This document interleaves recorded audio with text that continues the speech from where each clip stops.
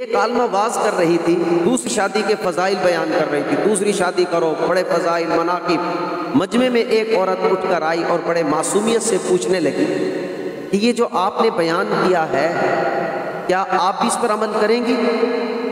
दूसरी शादी, आप भी इस पर अमल करेंगे कि अपने शोहर की दूसरी शादी कराएँ?